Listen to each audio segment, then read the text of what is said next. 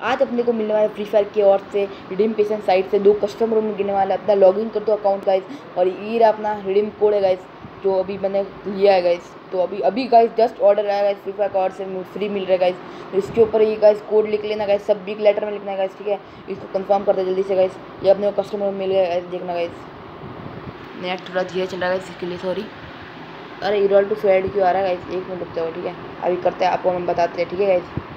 हम को बताते हैं। तो गाइस देखो गाइस मैंने ये रिडीम कोड लिख लिया गाइस इसको कंफर्म करना ही करता था।